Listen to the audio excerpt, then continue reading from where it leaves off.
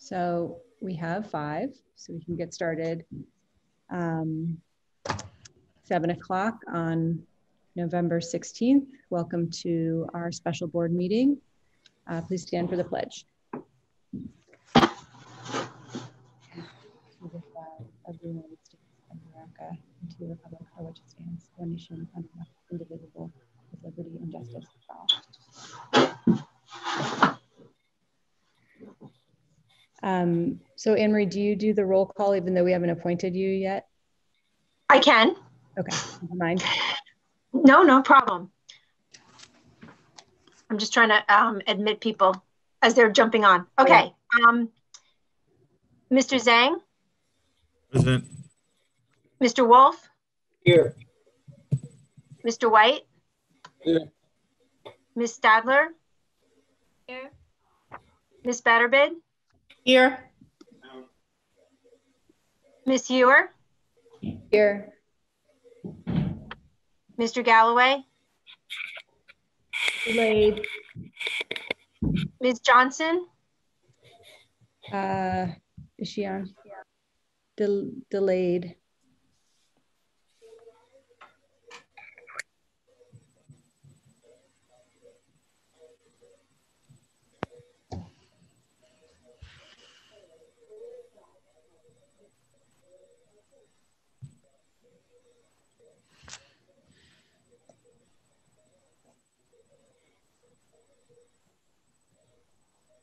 We lose Anne Marie?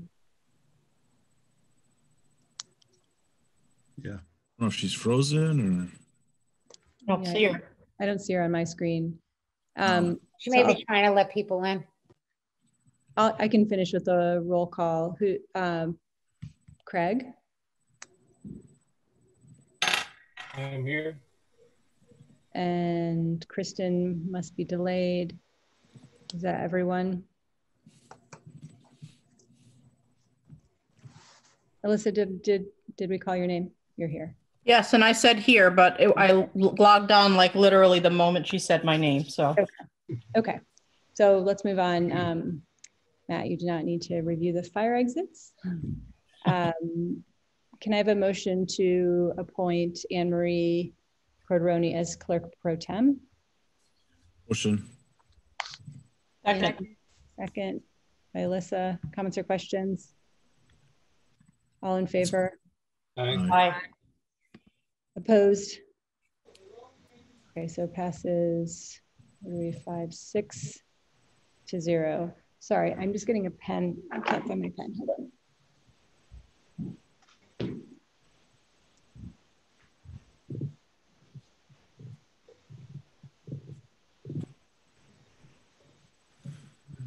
Okay. Um, Can I have a motion to waive agenda items 2.02 to 2.08? Moved. Anthony, Second. Laura, comments and questions about this? All in favor? Aye. Aye. Aye. Opposed? Passes six to zero. Okay, so moving on to our workshop. um,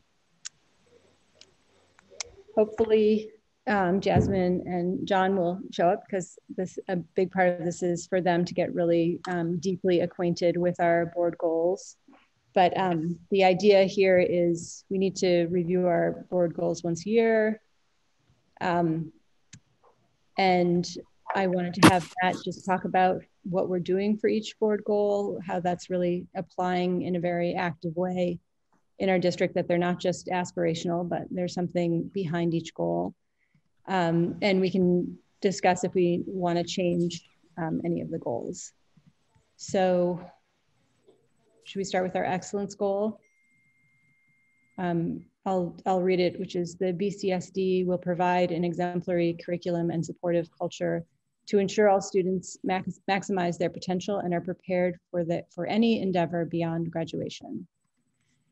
Matt, do you want to talk a little bit about our excellence goal? Yes, sorry, I'm just uh, getting a text from John about getting on. Oh, he said it was invalid. I forwarded him the one from um, that you sent to the community, which is how I got on. So.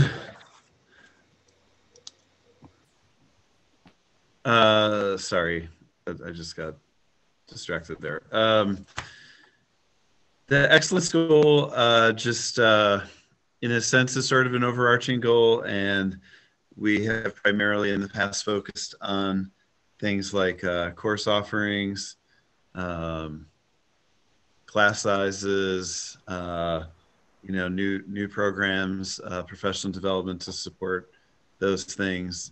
Um, uh, you know, when I gave the board update a few weeks ago, I, I honestly, with excellence, uh, focused uh, my conversation just on our reopening plan. Um, just, just, uh, just because it's been such a massive lift for us, and it just kind of gets us uh, was getting students uh, in the building. So, uh, so yeah, so it, the excellence goal is really focused on what we offer academically, the depth and breadth of what we offer, the classroom experience, um, you know, and then everything that supports that, uh, from sort of structural things like class size to uh, support things like professional development.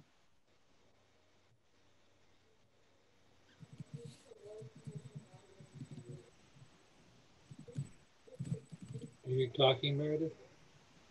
Sorry, sorry about that. Um, so I figured we would just go through each one eh, and stop, you know, any board member can comment or have questions about it. Um, so does anyone have any, hi Jasmine, John, John's on also now and Kristen. So everyone is here, which is great. Um, does anyone have any specific comments or questions about the excellence goal?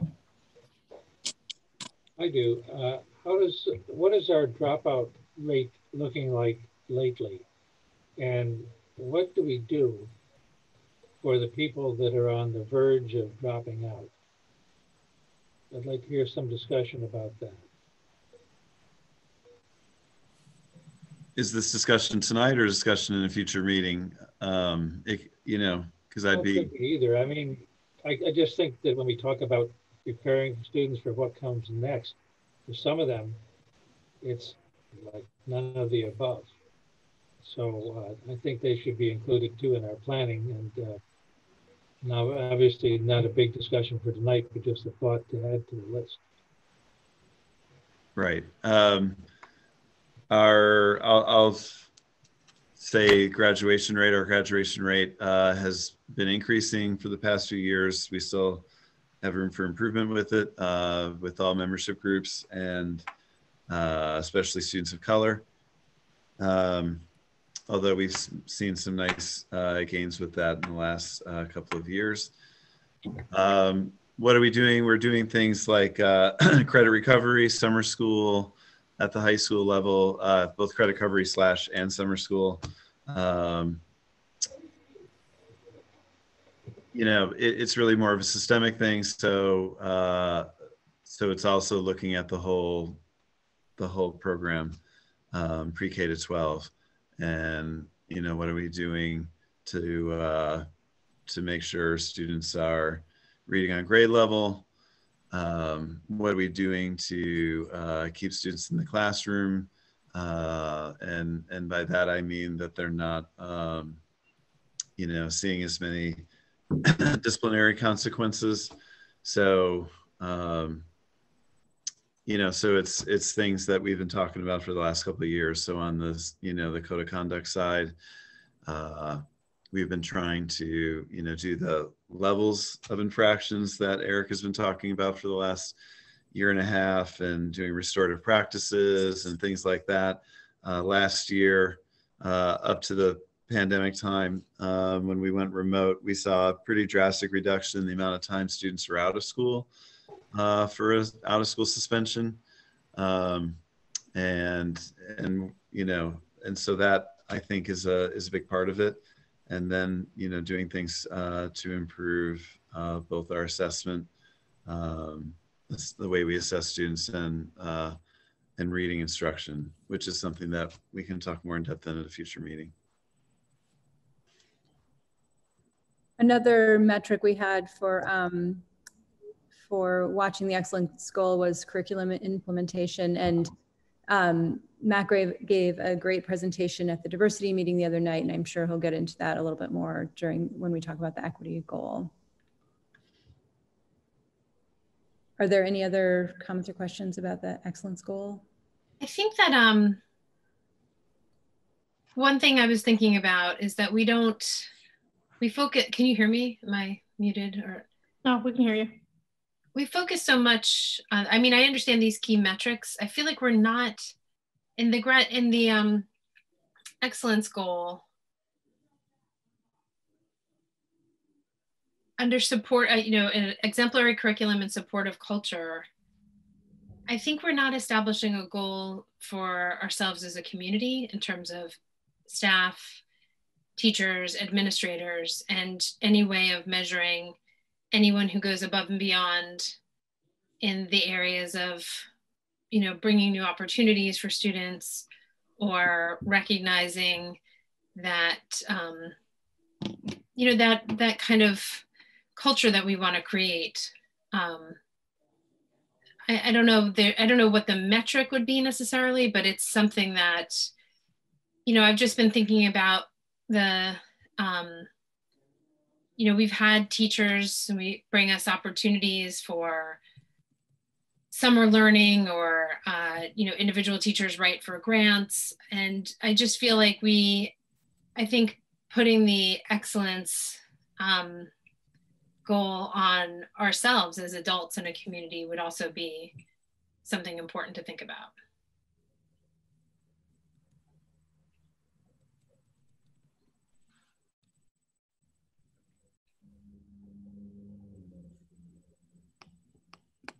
Like ways ways to uh like ways to foster innovation. Not everything has to be uh you know let, letting good ideas sort of come from individuals and then try to um grow it out. Yeah, I mean, I'm just thinking about this for, um, you know, when I, when I, they're the theme, whatever the motto of the school I went to was pursuit of excellence, and they had a pursuit of excellence award, and it was given to a student every, I don't know if it was every month or every quarter, but then it was also there's a excellence award for a staff member, and it was just this way of kind of calling out anybody that. Um, I, I think the, the idea of like uh, anybody that did do that, where they went above and beyond, where they looked for something new or innovative or just stretched. And I think that um, example is a huge part of, um, you know, the role that we all play in children's lives. You know, that they'll do what we do more than they'll do what we say. And it, anytime you see a you know teacher or an administrator or a staff member doing something uh, beyond just the minimum and bringing more enrichment more opportunity more insight anything to students. And I, I think there's i don't know if there's a metric for it though but um, it's just something i'd like to think about because I, I, otherwise i don't know it's not really incentivized. No i mean it it it can just be something that we try to focus on. Um just celebrating and recognizing uh, people who go above and beyond. And that that is a one lever to shift a culture. It's not the only one but it's it can definitely be a powerful one. We yeah i think it's just more of a systemic way is what i'm thinking because we we do have these things where teachers get recognized. I, I feel like we we have things in a very hodgepodge way that appear on the agenda but that doesn't fit into any kind of cohesive um, systemic way of of making that a part of the culture we did have that in the um, superintendent's blog. Um, I guess basically up until COVID. I think it's, um, we haven't done it since then, but maybe it can also be, our students, our employees. Um, but I think, Kristen, you're going, you use the word systemic and cohesive, so something that's a little more um, clear. yes maybe. because if we have these metric, it doesn't, I know it wouldn't fit into a metric because that's within, you know, how we, how, you know, teachers are reviewed and how, how these evaluations take place is very formalized. But I also think on the other side of it, we, there's nothing that really, it's a cultural thing to formalize it outside of a contract that we're encouraging and recognizing people who go above and beyond and create an example for students.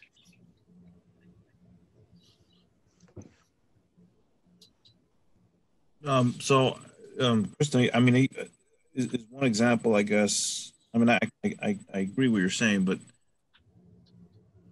I mean, I, we, I mean, we have ratings that we, that we do for evaluations and the highest ratings, I, I can't remember, is outstanding or something like that. Um, are you saying we use something similar to that for, to measure the metric on it as a metric for this or? I don't think it can be a metric like that. And I, I actually, I think we all can own the limitations of that system. You know, there, there are pros to it for sure because we need to have something, but it also is governed, at least in part, by the rubric from the state. And so it's it's not something that's specific to Beacon. And I think that if we um, I guess what I would say is I don't think it's for us to solve. I just realized I'm still at my daughter's name. um, I don't think it's for us to solve how to like we can't come up with a process for which to do it, but it's something that I feel like I think it would be great if Matt you put it to the administrators to think of some way to make this more because each school seems to do it differently and there seems to be this there's i think part of it is the regularly recognizing it regularly communicating it um, and and making it more uh, systematic that it's something that we're looking for and recognizing and we do it with kids with positive behavior and we do it with kids with academic excellence or sporting excellence or things like that i just think there's an opportunity to I would, I would like to recognize teachers that that that um, are getting grants for the to to expand their uh, curriculum in the school. Um, I think that that is one one good point there. But I also don't I also don't pretend to know the answer to how to capture it. Um, how to ca- how to measure and capture excellence.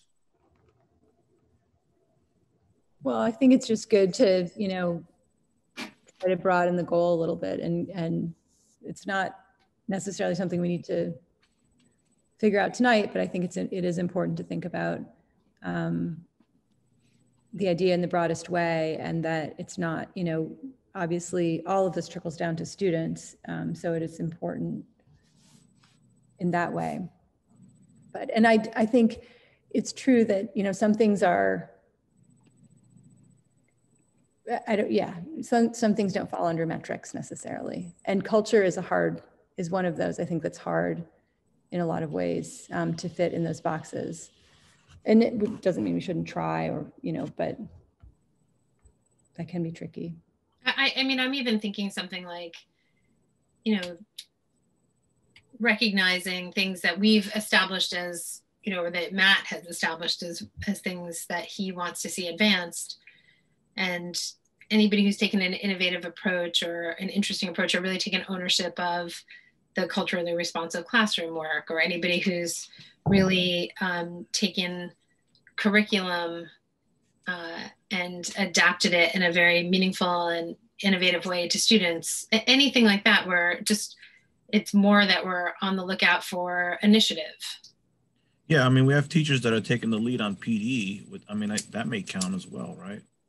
That's what I'm, I'm saying that I think that it's worth looking at the different aspects of things that we are trying to uh, advance and and turning it more the, and bringing this goal to the adults as well as how we're measuring the kids you know I think it's a really good point. Um, does anyone else have anything they want to add about the excellence goal or about the, you know, if, if you have issues with the wording. I, I don't see us changing these goals um, particularly. I feel like we've, we've gone over them a lot and most of it is really, I think how we're, um, how we're applying them, but I mean, I, I think I'd like to maybe perhaps capture more metrics. I mean, I think the grant and teachers that take lead on PD, I think that would be a good metric, two good metrics right there to add to that. Um, you know, we, we need the metrics to only evaluate ourselves against the goals, but also to celebrate our successes. And that's um, you know, channeling Makrotowski there. I think what's missing from this formula is uh, more attention to specific objectives. Goals are very broad. Metrics are what? You can't really measure goals with metrics unless you have specific objectives, such as we'd like to improve our dropout rate for the third year in a row by one point, two points, whatever seems to be reasonable and a good reachable target that would inspire us to do more. So I think we should be putting more attention on that middle category of specific objectives. What is it that we want to achieve? The uh, the language we've been using is uh, the you know the board goals um, are like the key pillars of our strategic planning work, but then we have major actions and actions. Um, like uh, you know I think the way we've been thinking about it is that uh, at future board meetings over the next few months, we take one of the board goals and we uh, we break down uh, how we're working on it with major actions and actions. Um, I can do brushstrokes on some of that stuff tonight. I did that at the October 26th board meeting. Um, and I can sort of repeat that uh, tonight. But like to really drill down on any one of these goals, I think probably is is more of a uh, a board meeting specifically. Workshop. Uh, uh, like, you know, for instance, at the at the diversity committee the other night, you know, we spent we spent close to an hour just sort of breaking down some of the major actions and actions under the uh, equity goal for the district. So I guess what I'm trying to say is I agree with you. I think tonight, Meredith, I'm not trying to say what the purpose is, uh, but tonight's just kind of getting a sense of what the goals are and yeah i mean i i, I think we talked about having um, you know workshops moving forward um, where we did go deeper into each goal we've done that in the past i think that's been really important so it is really, we want to familiarize ourselves with the goals um, and make sure that everyone is on the same page with them. That, you know, that's really my goal here.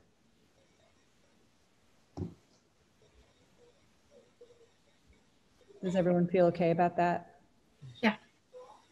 I think it's always hard because this is, it actually is a really high level discussion and it's very hard not to get into the woods about it, but, or the weeds the weeds.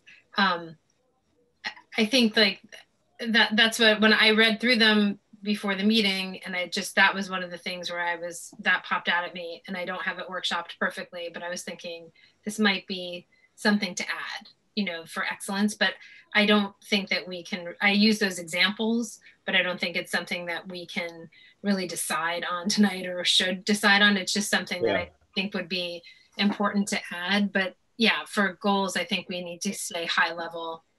No, and I, I, I want to be clear. I'm really happy to hear people's ideas. I'm taking as many notes as I can. It's going to help us shape what we do. Uh, and I, that's what I want to, I want to hear, I want to hear the board's ideas for the goals. I'm just not prepared. I'm not prepared to do like a full presentation on each of the goals in terms of every step we're taking for each one. Um, you know, I've done the overview. We we we basically did it for the equity goal the other night at the diversity committee, and we were going to do that at a future board meeting. And then I spoke with Meredith and Alyssa about then sort of mapping out at you know five or six future board meetings. We take each each of the board goals and we kind of drill down and focus on each one. But to help us get ready for that, I I would love to hear ideas for each of these, like things that you want us thinking about, uh, things that you want us, you know, um, right? That's part of tonight. Absolutely. And I think, you know, for our part, also we should be thinking about, you know, is this something that we can improve upon in our policy work? Or, you know, is it, what what is the board's role in this? How does this work?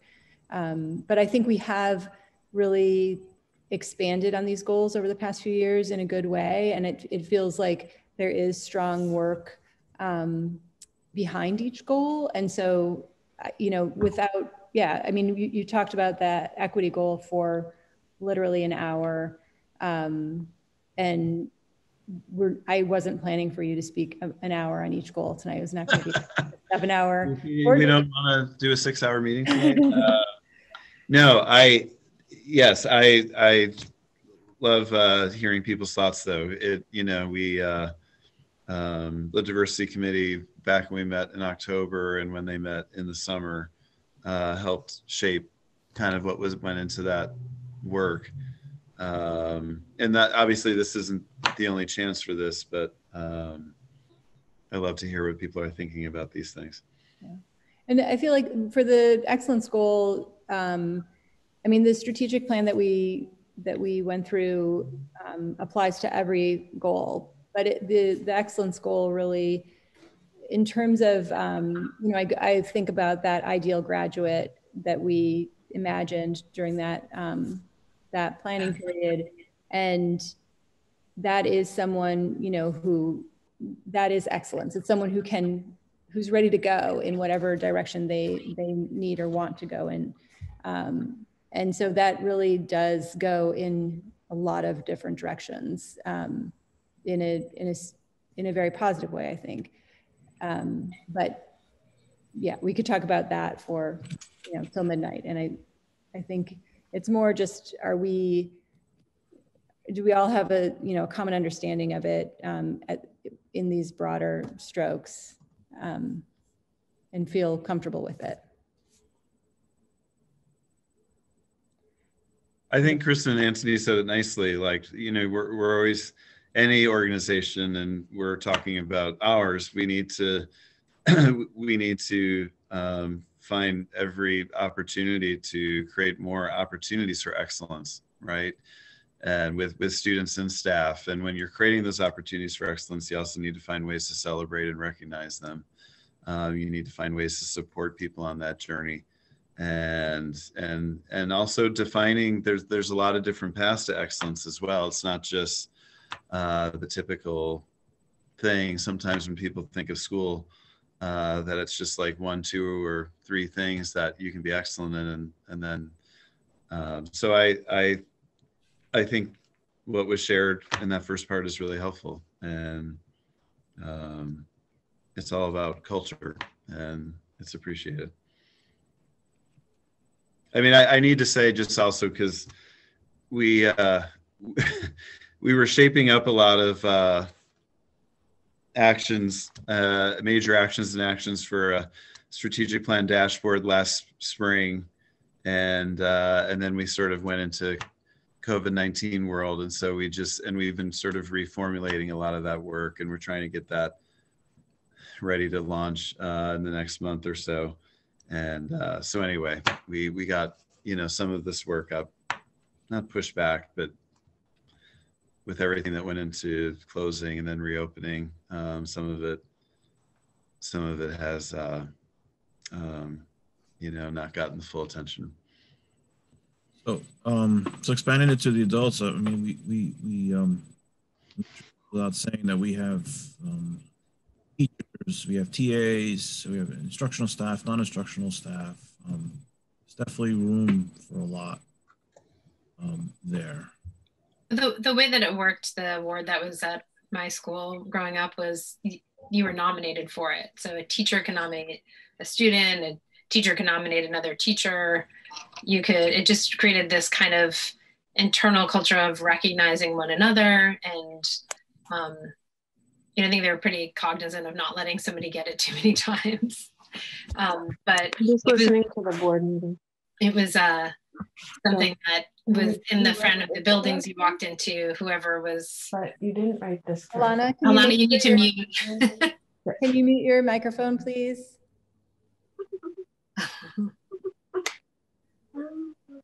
Alana, I don't know if you can hear me, but if you can mute mute your microphone, that'd be great. Oh, sorry. That's good. Yeah, it's not my mic. No problem. Um, sorry, go ahead. Uh, I just think that it might even be as simple as something like that. Just, um, you know, creating a a mechanism that's a pretty low lift, but um, but done consistently. Well, I love the idea of something that's not top down, but that is, you know, from from the community that people are recognizing each other, and it kind of it actually feels very similar to the circle work that they've done at the elementary school, where you're really seeing each other and looking for each other's um, gifts. So, it, in in that sense, I mean, the the middle school does this great shout out program um, that's based on nothing really. It's just based on you know kindness and. Um, people get shouted out just not for anything, you know, not for a particular achievement, but but just as an act of kindness. And um, and it's really it's sweet. It definitely falls in our under our culture of care goal in a gigantic way in my mind, but um, could be expanded.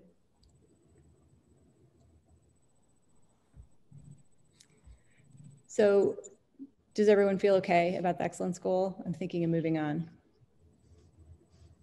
Yeah. Um, so the next goal is the equity goal. I'm just going to read it for those who don't have it in front of them. Um, the BCSD will celebrate diversity and provide an equitable ec- education for all students by working to eliminate race, ethnicity, class, gender identity, sexuality, and disability as predictors of student success. Um, and like I said, we we had this diversity meeting the other night. Matt went into a lot of detail of the various um, projects around that. Uh, I don't know, Matt, if you feel like you can give a five Yeah, minute. Um, sure. We, I'm gonna, I'm gonna sort of tie another board goal into this a little bit. So maybe that's the next one we do. Uh, but we kind of focus on three main things uh, in terms of major actions and actions. And uh, one is curriculum, another is professional development, and then a third is uh, fostering a culture of care. You know, I think these two, the equity goal and the culture of care goal, are really uh, strongly linked. Uh, so for the curriculum part, uh, what we talked about at the committee was really digging in uh, as a district to uh, the culturally relevant sustaining framework that the New York State Ed uh, that New York State Ed put out uh, as sort of a framework and a guide uh, for districts uh, to develop culturally relevant curriculum. So, so we, you know, I think at a future board meeting we could roll up our sleeves and dig a little bit more into that. But that's, uh, you know, some of our teachers working with this consultant, uh, Dr. Hunter, on uh, on developing uh, projects or units with this focus. It's also looking at the learning materials we use uh, and kind of rating them on a on a rubric, a cultural relevance rubric uh, for our diverse population. It's uh, it's also when we're doing the curriculum mapping, uh, K to 12, that we're really having both our content coordinators and our teachers uh, looking for every opportunity uh, to integrate cultural uh, relevance um, into what we're doing. So it's a multi-year effort, uh, but we, you know, we have each of those things. We got into detail at that meeting about sort of when we want to try to deliver these things. Uh, it's a multi-year effort, but uh, it's all kind of, or some of it's lifting off now. Some will be lifting off in the coming month. Um, another part of it is the culture of care. Uh, and I know that's a separate board goal, um, but that that is really the focus on uh, things like the revision to the code of conduct that we the revision to the code of conduct that we did uh, a couple of years ago uh, to uh, implementation of restorative practices, uh, and implementation of responsive classroom, um, you know, helping helping students and staff build community and talk with each other. Um, all of those things with the goal of you know of of our students being in class more, being more connected, uh, being more engaged. And then the last thing we talked about uh, was prof- having robust professional development. Um, and with that, uh, we talked about things that either we have been doing or want to do. Um, so we, you know, restorative practices and responsive classroom are things that we have been uh, working on for the last uh, few years.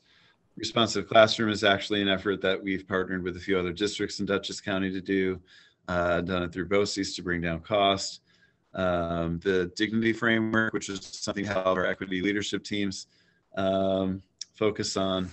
Um, and it was a six day training last year. This year, we're uh, planning on just doing like a day or two training, uh, both with the time issues that we're facing this year and also uh, also just resource issues that we're facing this year too. And then finally, uh, not finally, but uh, we're also looking into doing um, or committing to doing uh, some sort of anti-racism work. we we're looking at um, we're not we haven't committed to it yet, but we're looking at uh, possibly doing uh, undoing racism, which is a three-day workshop. Uh, what we'd like to do for that is include uh, different stakeholders in the training, uh, both employees, um, leaders in the district, and uh, and also some community members. Um, the district, the Nyack School District in Rockland, has been doing the that training for about eight years now. And uh, so I spoke with that superintendent for a long time just about the impact it had on the district. Uh, with that, we're also trying, I mean, I don't know if I'll be successful with this, but we're trying to partner with some other districts in Dutchess County um, to do that work um, to again bring down costs. Um, you'll notice the theme tonight uh, that that you know cost uh, of anything is is a concern as we head into the uh, probably next few difficult budget years is what it's looking to be, but we're really committed to uh, to finding ways to do all of this. Uh, the the last part of it uh, that I I forgot to mention was also uh, making sure um, or attempting to do culturally relevant family engagement at our schools, and so uh, we're asking our um, equity leadership teams at each school when they're looking at or designing family engagement practices that they're trying to find ways uh, to make it culturally relevant um, and connecting to all elements of their school community. So that was just you know the hour presentation in five minutes, uh, but we um, we have a lot planned with this one. We're excited. Uh, we're excited to use the state framework. We're excited to partner with some other districts. I think that sort of lends a certain power to it. Also helps bring down cost. Um, and uh, we're excited to move the work forward even more with this goal.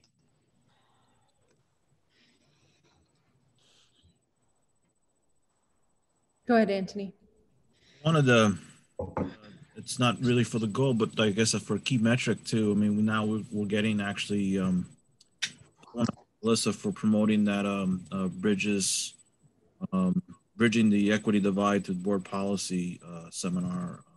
Yep. And I thought it was very informative, and and that's actually something we can um, put down as a metric, um, adopting, uh, um, understanding and adopting policy uh, 0105. Um, there's also um, there was a um, one, two, three, four, five, six other policies that has provided some some edits uh, as updates um, to promote equity across those policies as well. Um, so um, definitely added as a key metric there as well. Yeah, I was also uh, watch that. Thanks, Alyssa, for mentioning it. And um, I agree that would be a great. I mean, I felt like a lot of things they were talking about we we we have in place in our district. We, we, it's work that we're working on, but it's great to the idea of um, you know putting it together in one place and kind of making it a little bit more formal um, through policy. Uh, and then there's a regulation that they had um, as an attachment to that. That was also pretty interesting that I think we should try to talk about at the policy committee. Yeah, I agree. There were a lot of what they talked about, they talked, we're already doing, but it was nice to see them put language around those things. Um, they even went over their, the, the goals, board policy goals in relation to that policy that Anthony just mentioned. And I took screenshots of them.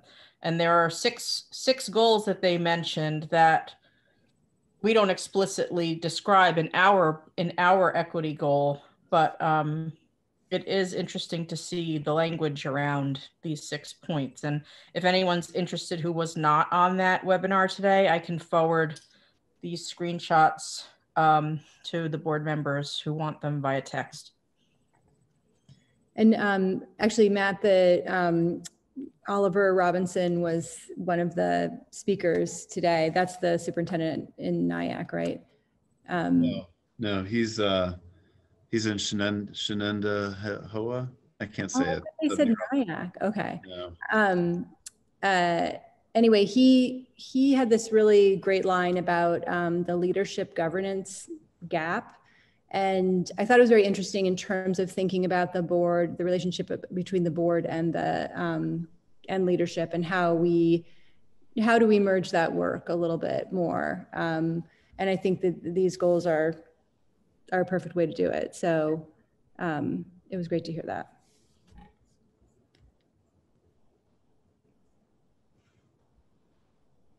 Are there any other comments about the equity goal? I mean, in some ways, I think that uh, I- don't. I I think that you know we're we're prioritizing things that we've identified and have been able to measure. Um, I know we deal with sexuality in policy, sexual orientation and sexuality in policy. Um, disability is governed in certain ways by um, requirements. Uh, but I think that's also something where we need to take a, a little bit look, a, a little bit of a closer look about our practice around that and have um, a little bit more discussion there. And then I, I don't know how we have been addressing any of this through gender identity. And the, I mean, these are, this is, this is a massive topic, like in one goal.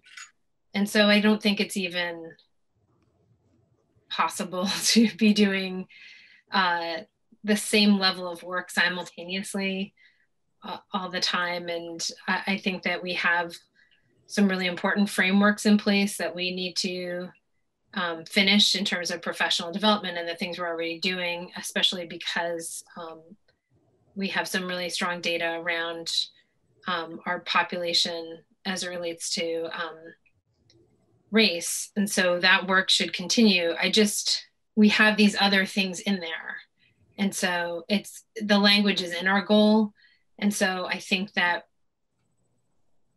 it's probably something that I'm not saying we should change the goal at all, but that we should start thinking about how we talk about these things too. And I think that um, I, I agree with you. And I, I think that one of the um, things that I really took away from the diversity meeting is that some of this work is, um, I think it, you immediately think of race in the work, but I, I think that there's impact in all of those areas through this work. Because one, one of the things was a curriculum audit, looking at, you know, looking at what we're showing, what teachers are showing students in order to teach them, and um, and that using a, a, rubric not that we're making up, but from NYU. And I assume that that will be, um, you know, filtering not just for racism, but also for any other bias. Um, and the other thing that comes to mind is um, the Student Bill of Rights, which would not just be about, you know, one kind of um, impact, but but all kinds of impact, and you know, really empowering students to be the individuals that they are, and to know, you know, their their rights as they walk through this world. So um, I do feel like some of it is, you know, all those things are named, and I think all those things are impacted by some of this work. Some of it is very specific, obviously, but um, but not all of it. Yeah, I, I think also I'm just Anthony, what would you say about in terms of disability and that you know piece of like how we're how we're incorporating that because I'm just comparing it to like a as a P for you as like a PPS professional.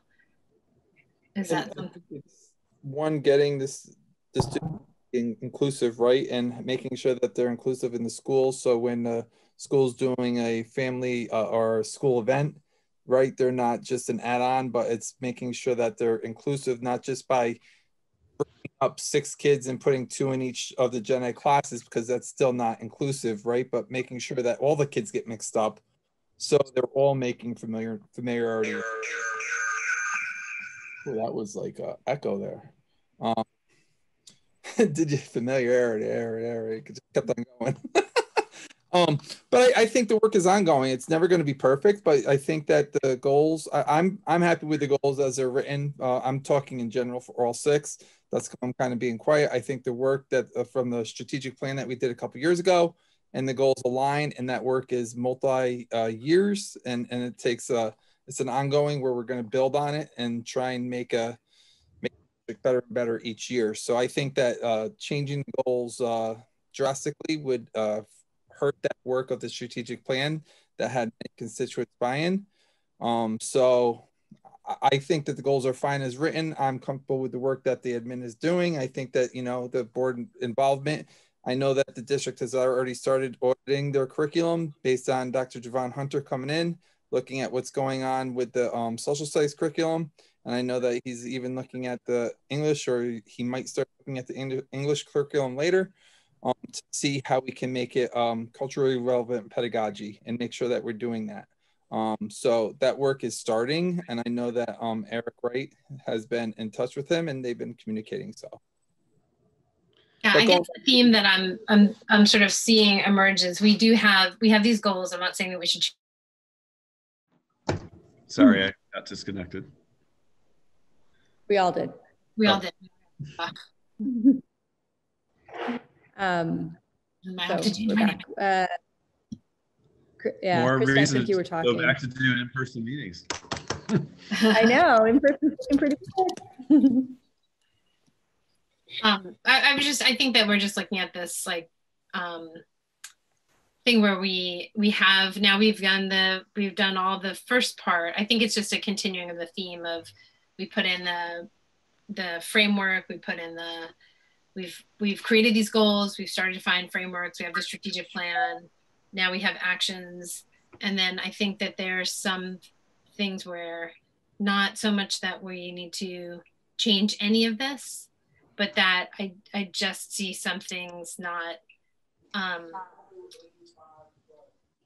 not um not having the same level of like scaffolding around them you know like i think for me i think um you know students with disabilities i i just feel like it's always treated as a separate group. Um there's a lot of not not necessarily intentionally it's just that it's I think that it's uh, there is even a whole separate department, and so how we integrate and uh, set up for success, and there's legal requirements around it, and then I think that there are again this comes down to culture and that you know we're rewriting curriculum, we're being um, more culture culturally responsive broadly, but I think that that's something that's worth taking a look at, especially since it's in our um, goal like what is our practice around that and how much are we kind of um, interrogating our like how much are we interrogating ourselves about if this is if we're doing as much as much of a service to the same subgroup I, I, think, I think kristen that you're correct and I, I would just say that it's awareness because a lot of times it like something bad comes out of something that they're trying to be good. Like if you're trying to include kids and, and integrate them into the gen ed population, right? It's easy to say, hey, these two kids go with this group, these two go with this group, but that's not really inclusive, right? So because then they're trying to fit into the group that's already established. So it's just taking that little extra step and think about it from, hey, how would I feel if I was put into a group with just another kid and, and stuff like that? I think it's not out of malicious or not out of intent, something that needs to be uh, an awareness of. Is it is it is it something that we're talking about where it's not necessarily about changing the the goal, but more expanding the metrics? I mean, to, I don't even. I think it's like just when we talk about like the, I because I, I, don't even know what our metric is on that particular. Well, that's the thing. I, I was noticing like for that the idea of celebrating diversity, like there really isn't a metric right around that. So it feels like maybe that's where the that's where the accountability comes in. Right. So we have to define what that is. Yeah. And um and then I think maybe there's maybe a metric is a student feedback piece. Yeah. You know, where we gain some sort of insight to the student's experience and what they say they're, you know, whether they feel included or seen or uh, have access to answers that they need. I just, I see this through like a, um, you know like having having a child with a learning disability that's it's not like a it's not something that the um it's it's there's a there's a significant burden placed on the student and placed on the um, family to advocate all the time. And so i don't know if that falls under culture of care or falls under equity. I i just think that that's they're in this we've included this group and uh, and so I think that we need to capture that experience in some way. And maybe it's for all of these. Maybe it is just a key metric will be a student feedback piece where we where we get um, insight from the students, whether they're surveyed or however we um, however we determine. But and I think gender is just another tricky one because I, don't think that there's, um, I mean, we certainly could put the same metrics around that, but there's certain things like I know we had a parent come to a meeting about making sanitary products free in the bathrooms and you know taking and and having that be something that's like you remove sort of like shame and uh, financial burden and uh, anything from you know like those things i feel like they're more cultural but I feel like if we're including these groups in this goal, we need to be thinking about, you know, sort of a, a way that we're measuring our progress in that. So I just think one of the metrics that can be built in based on our status with the TSI is that there's going to be a climate survey that's sent out and that should be sent out yearly. So maybe when we're framing the questions for that TSI um, survey that gets sent out, we could have something that is reflective of the of what you're talking about, Kristen. So like because that would be done every year. It's not going to be a one hit wonder. I'm liking it when you're joining the board of ed meeting with me. Yeah, that, that I think might be a good thing to just to include these subgroups. Yeah, you and I both, let me tell you. Can you please mute, mute your microphones? Anyone in the audience?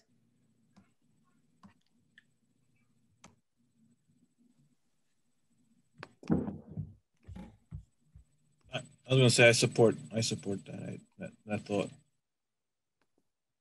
And, and I, um, in my very brief uh, overview, um, I, I, didn't cover everything, and so part of the presentation we did the other night uh, also focused on um, increasing the or strengthening, increasing the inclusive culture in the district, uh, especially in regards to students with special needs. So um, it is part of our planning. Uh, and um, so I just want to say that. But I think the student feedback uh, slash climate survey is a great idea. Yeah, and I apologize. I didn't read through the whole presentation. Oh, no, no, no. I, I was going really fast a little while ago and I missed some stuff. I have a question. Uh, I'm not sure if this is encompassed in any of the other, um, I forgot what the words are, but the titles. But um, is religion covered as well? Um, I know there's a lot of different kids of different backgrounds Jewish, Catholic, Christian, Islam, Nation of Islam. Um, say if they want to carry around their book, the Bible, the Torah, while the class is in session, is that going to be okay or is that written off? Because I know that has happened um, in the past that children have gotten in trouble for carrying that book around um, for whatever reason. I'm not sure if that is would be in the um, curriculum that the teachers would be learning because you know people you know church hurt is a real thing and it kind of creeps up when people start talking about their religion jesus allah um, is that going to be taught to the teachers as as well um, to like kind of be able to allow the the children to discuss if they decide they want to use a passage from the Bible, a passage um, from the Quran as a part of the project. Is that going to be okay? Or is it just going to be like omitted? Because, you know, for whatever reason, sometimes that does come up. Um, would that be included in all of this? Uh, I I mean I I think so. I, I when you look at the um, the culturally uh, responsive sustaining framework, uh, you know, one of the areas of diversity is is religion.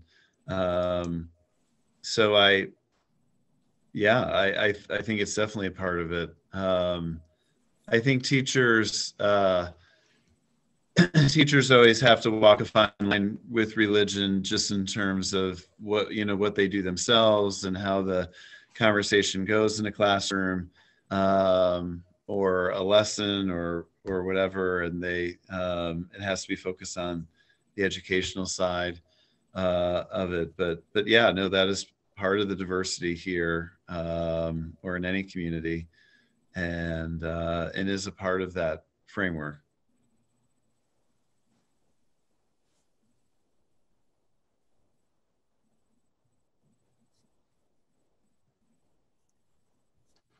Does anyone else have any comments or questions about the equity goal? So I'm going to move on to the fiscal goal. Um, the BCSD will employ a transparent budget process and build public support in order to maximize district programs and education offerings in the near and long term. Um, we're going to be talking a little bit later about our audit committee and, and some changes to our audit committee, which I think are actually important to the, the fiscal goal. Um, and I think we are headed into a really tough budget season. Um, so it's, I think this is, this is a goal that's sort of, I, you know, we've had, but I don't know that we've, we've really done a lot of work on. So maybe this is the, the year to um, more robust sorry. Uh, I think I think with fiscal, it's uh, it's not simple, but it is straightforward that we need to uh, increase levels of uh, you know stakeholder input um, in the budget process. Uh, we need to increase our own transparency, even though I feel like we have been in the past. Like we need to uh, increase that. Um, we need to start the process early. Uh, you know, I I try not to be gloom and doom, and I, I am a realist. Uh, and you know, what the budget experts are saying at the sort of statewide school level is we're not really looking at a bad year. We're probably looking at four difficult years. Uh, four is the number they're they're putting on in terms of like the length of how, what recovery will take in in New York. Um, so so I think in that process, uh, we will be faced with uh, harder choices than we've been faced, at least in my tenure here. And so, trying to do things like gathering input uh, from our stakeholders and just trying to, you know, really communicate uh, our way through uh, the budget process and beyond. And then I think finally, I think the key is to move beyond, and this is something that I think we've started to do the last few years, and we need to do this even more. Is we really need to, uh, you know, be really thinking about long term, you know, like what, um, what we're looking to impact with a budget three to four years down the road. And then and then lastly i think we just always need to challenge ourselves and i know every everybody agrees with this. Um, i'm sorry yeah No, you enforced the forecast five, and it's going to help us project a lot of things better. And we are working better with the numbers, and we're working together. great great um, and uh, uh, and then lastly it's just to focus our decision making on uh, on you know uh, on programming uh, for our students and and then lastly because I just came off a committee meeting where we talked about professional development for like half the meeting, uh, but not having that be the thing that we started as our go-to, um, as our go-to, you know, like the the, the easy thing to cut. Uh, so finding ways to protect professional development, I think, is important too. So um, so anyway, um, those are just some quick thoughts about that.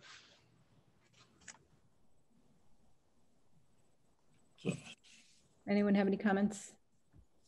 Yeah, I think we have taken a few steps that were favorable toward better explanation of how the fiscal system works. Uh, you know, some more detailed slide shows that uh, Mrs. Corderoni puts up at the appropriate times. I think those are, are more helpful than we have had in the past. So those are steps forward. I'm concerned about the just the how do you achieve transparency when the news is really bad? it's um, the state aid situation is, is serious. It may not have hit us very hard yet, but what uh, Matt just said was really uh, alarming and concerning that we could have a multi-year situation of, of uh, travail. So it's going to raise questions, especially as we get into negotiations with our various labor unions.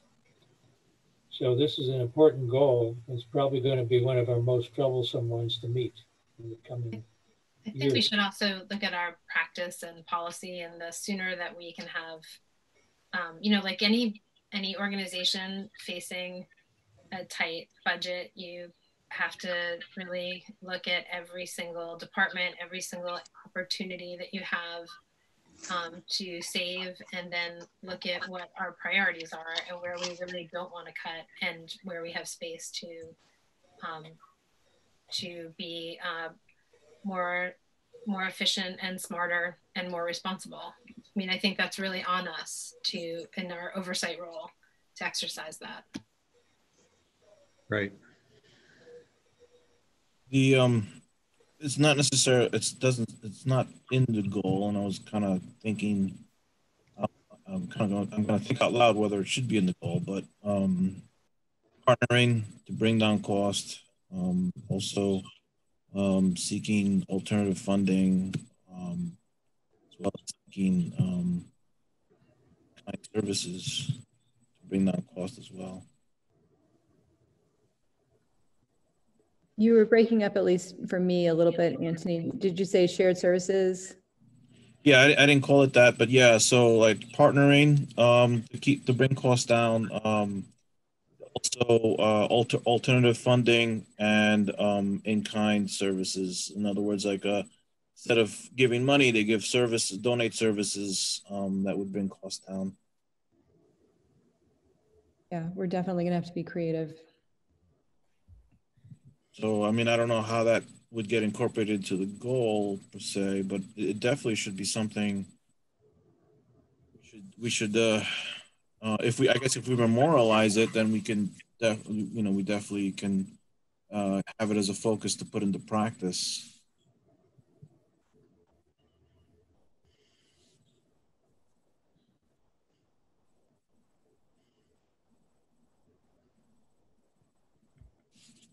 Um, I'm just reading it to see if there's like a couple words that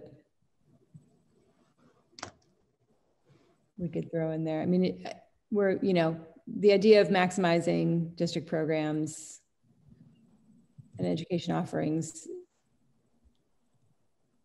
is clear, but the, we are sort of depending on the budget for, for them in this, the way the goal is currently worded. We're going to need to partner with organizations and accept any, uh, um, you know, support and community support that we possibly can. That's going to be really important and really building those relationships and having uh, those be really strong and have good communication around them is going to be critical because that's going to be one avenue we have to, you know, I look at this as like we have, we know we're facing this really hard budget, um, but we also know that we have a huge portion of our community that's been you know was already vulnerable and now is going to be hit even harder. And so i think of this in terms of lost opportunities for kids if we don't do the best we can to bring as much as we can for all of them. Uh, and especially kids whose you know families aren't able to pay for outside support and services. So that's what i think um, that that's where my head is so anything that we can do that can't that's not necessarily a part of the goal but it is something that i think we should be talking about, you know, grant funding, partnering with foundations, um, developing really strong relationships in that way because this will be a community effort. So would it be more a key metric then? I don't think we can, you know, I just don't know if we can even, I, I actually, I think it falls more under communication. Um, I was thinking that too. That's where I think it, developing strong community partnerships. Um, because I, I don't think we can set a goal around a pretty significant unknown. Uh, but I do think that we can be, uh, do the best we can to be a very trusted partner. So the more that we do that, uh, the more successful I think we would be in, in harnessing those forces.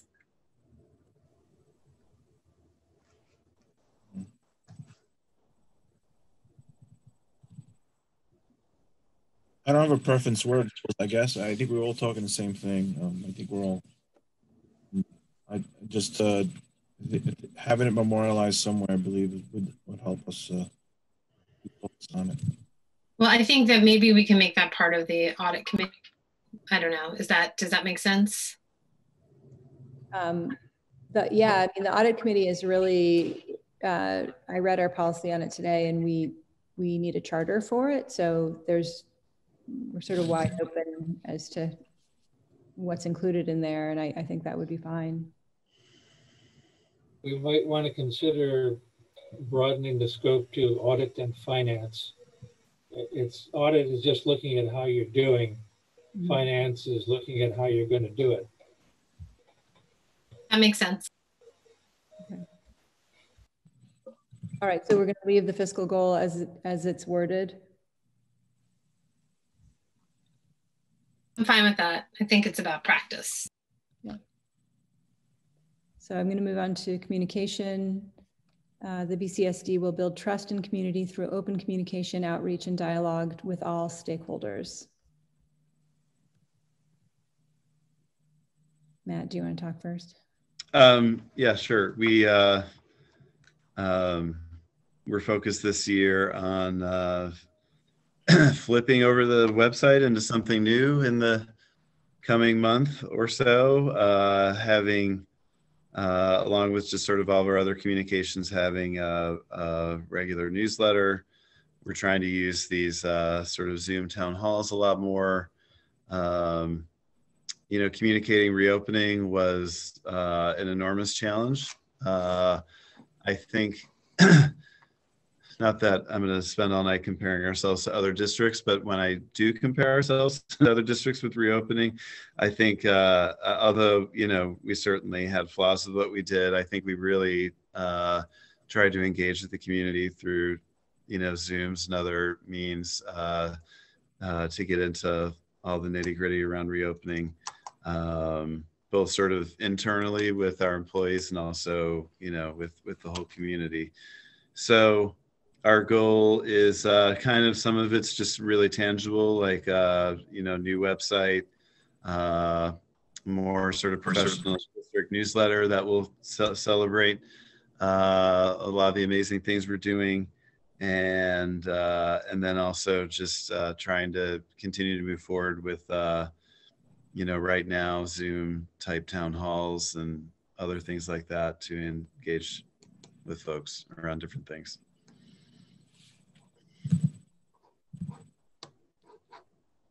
Uh, I think one thing to for the goal, um, the BCSD will build trust and community through open. I'd like to have the word responsive communication and out communication, outreach, and dialogue with all stakeholders.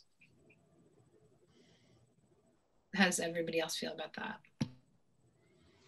To add or to replace open? Open, responsive communication mm. and outreach, uh, outreach, open, responsive communication, outreach, and dialogue with all stakeholders. I like it. I think um, in one of the um, NYSSBA sessions, something that really resonated was uh, the speaker said that the district should be the first and best resource of information about what's happening in the district. Um, and I think responsiveness is is part of that, and it is part of building trust. I like it. I like it as well. I think it's important. Just a technical question. Is there a comma after open or I mean after responsive? Yes. I think it should be after open. Open responsive. So Yeah. open comma responsive communication comma. Comma, outreach and dialogue with all stakeholders. Is everyone okay with that? I'm fine. Yes.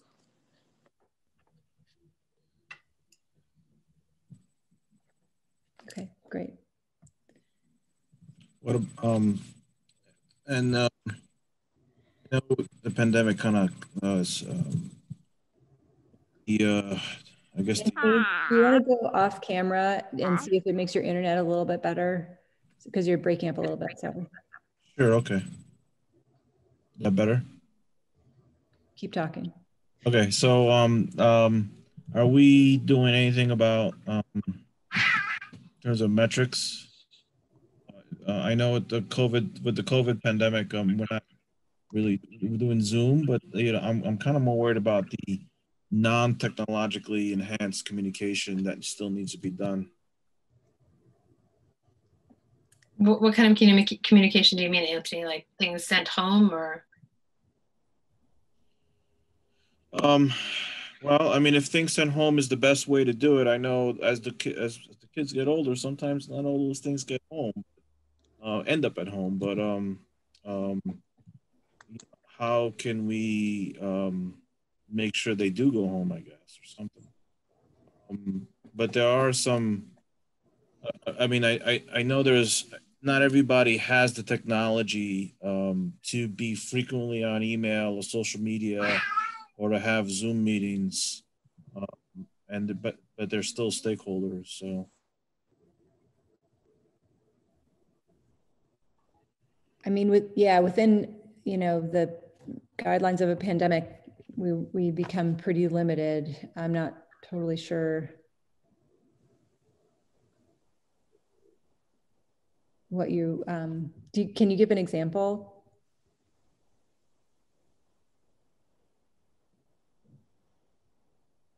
sorry, the cats were fighting. Um, I was wondering if those are your cats or if I had to mute someone else. I was wondering whose cat it was. I could not figure that out. um, yeah, they usually don't fight when when I'm on those. Um, so uh, uh well. I, may, I don't know. I mean, tele- telephone, Hmm. So you mean like sort of Instead of just Zoom calls? connecting with people to, to make sure people are okay? Is that what you mean? You get robocalls, I can tell you that. as a robocall recipient. Yeah, yeah. I mean, I've I've I've heard I've gotten I've gotten mixed feedback on robocalls. Some people forget either get dropped off by accident or something. I, you know, I was talking to a parent um, who I've known since I moved here for 14 years the other day, and um, I've never seen her cry before. And she said that when she sees the number on her phone, she always listens because Matt's voice is so comforting to her. And she started crying. so the tones of Matt Landahl through the pandemic. Voice of calm. Oh boy. Um, Anthony, do you have a good example Anthony, in that feedback that you said that like that you know I I understand that like you're saying that it's not the best for everyone, but has anyone said that doesn't work for me, but I would really appreciate this, you know, as an option? And it's something that we can do. Yeah, so so like, the complaint I had gotten um, once was um, uh, well actually twice maybe uh, that was um, and I was like, well, did you get the robocall? Like what robocall? I mean, I used to get them, but I don't get them, and it, it didn't. It wasn't sent out to robocall. I said it was sent out to robocall. So we had all this discussion about that, but you know, I don't know what this how the system checks to make sure everyone has a working number or not. Um, I don't know if if um it was i mean the one in the one of the two examples it was it was actually just one family. So all you needed to do is make sure one of them got the message not you know um wasn't like a, a, a separated parent situation. Sorry.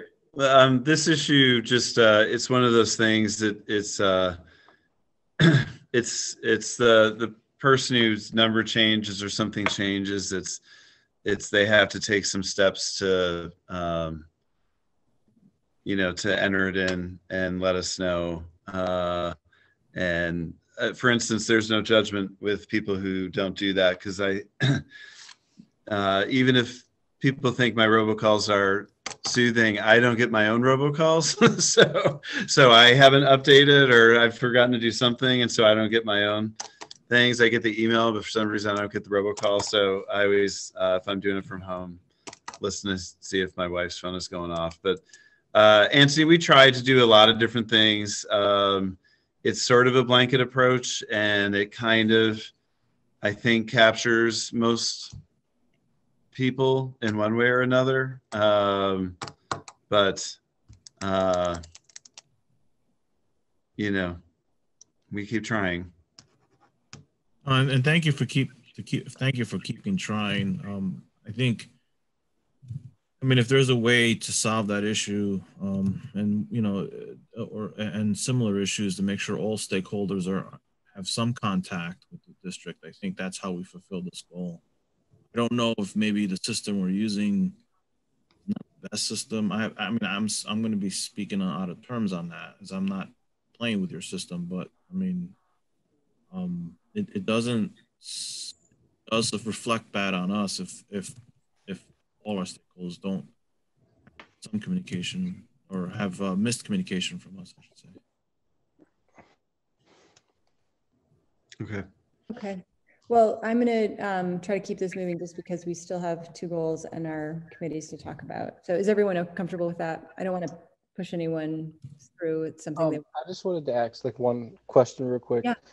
Like referring to communication right now, like I've spoken to a lot of parents and um, they like the fact that they're communicating with teachers way more often than they would have been if, you know, like there wasn't like virtual learning or hybrid, I think is what you guys call it. And I just want to know, would that be continuing? Obviously, it'd be long term because nobody knows when this is all going to be over. But um, would that be continuing because they're starting to feel that you know that trust and that communication is be making them feel like you know like comfortable with the fact that they're learning and new information almost weekly instead of like uh, meet the teacher night or quarterly. You know, like they're like up be up to beat with their kids? Right. That is that's a great question. Um, yeah, I mean, I, I think I think there's a lot of things. I don't have a list, uh, but if we sat down and made a list, like I mean, there's been a lot of things that have been really difficult and uh, about this, but then there's been some things uh, that uh, that have been improvements. So things we can do to the th- things we can keep that were improvements. Like I I want to try to keep them. I, I think I think teach from the teacher standpoint. Um, when parents are more informed about what's going on, it actually makes their job easier. Uh, it's sort of like if you're more proactive, you know, then the other side, um, the other part of it gets easier. So I would, I would love to keep that going. I mean, you know, I mean, I still want when we're able to do face-to-face meetings. I obviously want to get back to having face-to-face meetings, but um, you know, just on my side of things, when I do one of those Zoom town halls, I think the smallest number of people I ever had on one was like a hundred, and the highest was I don't know three or four hundred. And if I had that many people at an actual in-person meeting, you know, I'd be shocked. And so like that that is that's an example. Like you know, you're reaching more people um, through some of these tools too, from my end as well. So no, I would love to keep uh, some of these things going. Um, that makes sense and as as we're down the road, we all get to sort of, you know, be back together physically. Um, but that that's a great question. Um, it's funny as a parent, uh, as a parent in the district, I um, approaching sort of the when the teacher sent out the stuff that she was sharing when our kids teacher sent out the stuff um, it, it felt like i already knew all of it and that was probably the first time where I felt like I I already sort of knew it all because it was all really laid out like all you know the first few weeks of the year instead of waiting uh, for the meeting. So that's a great point. I think also just to echo that point, I can say that the difference in the parent like for as a parent like you I went from having uh, kids in school where I wasn't working full time, where I was working freelance, so I had a lot more flexibility.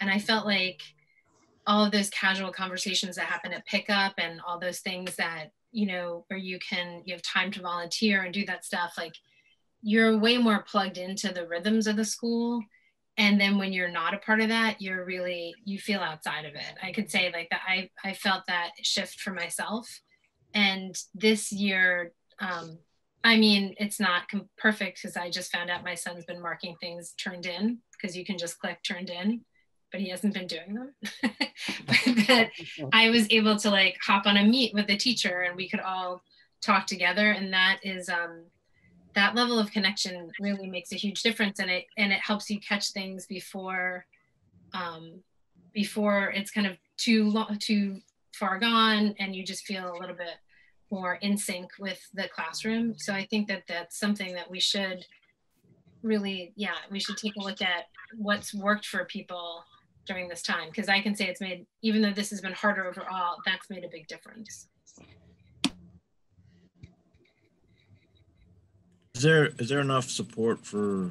Um, no, I, I remember I don't I haven't got gotten a portal complaint in a, in a long time, but they used to be where some teachers are using it, some of them not. I think we're all using portal at this point. I think it may be a, maybe a parent issue where parents needed to be educated how to use portal, and I think there were some learning sessions and stuff on that. So I, I think we may have resolved that, but I'm, I don't know for sure. Anthony, we're all using all the things now. We've got Dojo, Google Classroom, the parent portal, like okay. all the things. So many apps. Yeah, remind. Okay, so I'm going to move on to the culture of care goal if everyone's comfortable with that. Um, oh, sorry, you were gonna were you gonna read it? sorry. I was gonna read just for those who don't have it in front of them. Um, the BCSD will foster a culture of care dedicated to maintaining a safe and supportive emotional environment that ensures the wellness of all members of the school community. Take it away, Matt. Uh, you know, like I said before, I, I really feel this one is intertwined with the uh, with the equity goal quite a bit. So I already spoke about some of these things. We want to continue uh, building out the responsive classroom piece, which is a classroom community building model for elementary teachers. Uh, I keep uh, pushing out the restorative practice slash talking circle piece uh, at the secondary level. Um, keep uh, working on getting uh, teachers and administrators trained in the dignity framework um, on some level or another. Um, so our, our revised code of conduct. Um, and then, you know, we had a number of people trained this year uh, before the year started uh, on um, sort of trauma-based instruction and trauma-based supervision if they were administrators.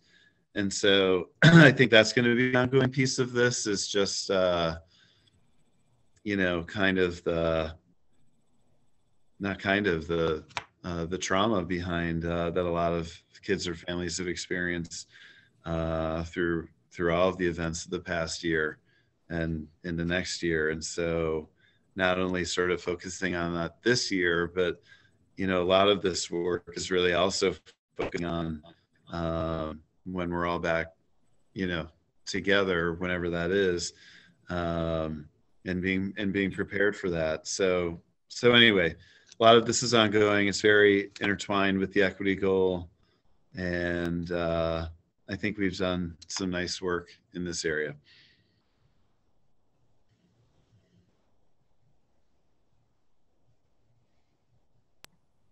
I agree. Um, this is, I think, most people's favorite goal because it just like it really gets to the heart of the humanity of all of us. Um, and I think that there's a ton of crossover between the equity goal and the culture of care goal, and and um, all of the goals are really hard to meet without this goal being super robust and active in everyone's mind. Yeah, and I think that survey, that student, that school climate survey, uh, um, is going to be critical to to understanding that. And if I don't know, I know that circles are um, circles are private, but I know that there can be you can do a circle around kind of more like in a more neutral way. I know you were talking about having observe, observers, Matt, this summer of some of the um, the circles that you were doing with um, with students, and pulling key themes out of that too would be helpful in developing the student climate survey. I think. Okay. Yeah, we. um, you know, uh, especially uh, Eric and I uh, did, did a lot of uh, sort of student focus groups or student circles uh, the last couple of years.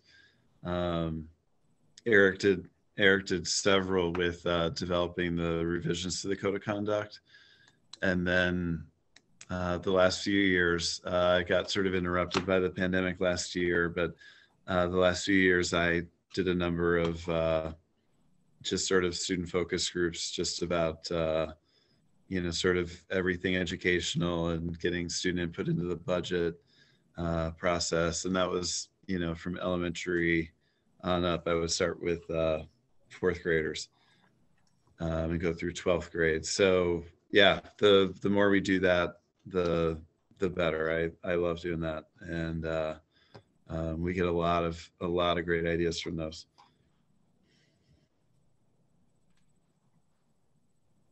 Is this another one that uh, partnership would be needed, or I know we've it's not exactly a partnership. We've we've brought in organizations, I guess, on, on fee, but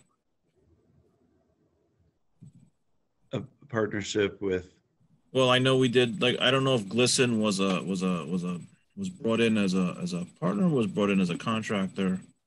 I know the the the uh, Center for uh, Mediation. I guess they're they're being brought in as a contractor, right? Or yeah, I mean, you know, I I don't know what the right word is, but we do have contracts with them. GLSEN was small. I mean, GLSEN is is of you know extreme non for profit sort of thing. So so their you know their contract for the work was pretty pretty simple. Uh, we have contract with Dutchess Mediation to help us with the restorative work uh, and the circle work. So yeah, I, I don't know if I'd call it partnership, um, but I think Dutchess Mediation, we've done a lot of really deep work with them for sure. So we rely on them for a lot.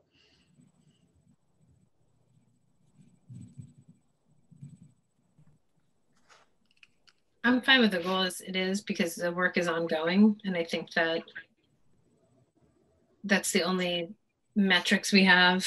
So student staff, uh, discipline data. Um, I don't know if there's another way to name feedback other than if, if there's avenues for feedback outside of that we can capture outside of just the surveys, but I don't know.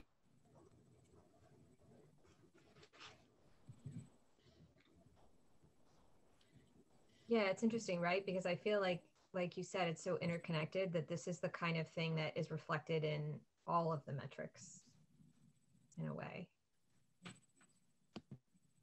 I agree. Okay, if everyone's okay with it, I'm going to move on to sustainability. Uh, the BCSD will use best practices to create a healthy school climate, improve educational programming, and conserve limited financial and physical resources.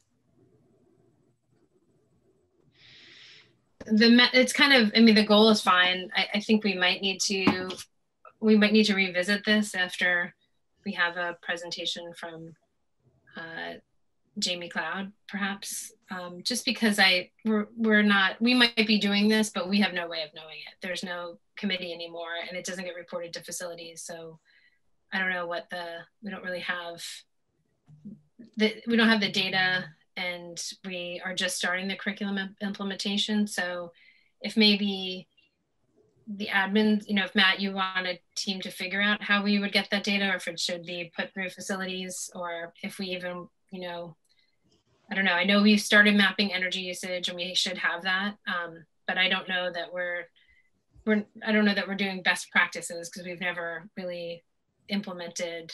We never finished implementing the um, any of the frameworks we were working within, and everything got interrupted after the pandemic. But just um, I mean, I think it's fine to still have this goal, but maybe we revisit it after Jamie presents.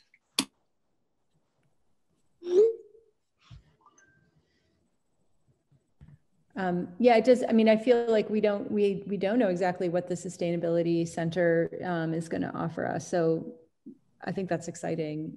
Um, curious to hear more about it when we can.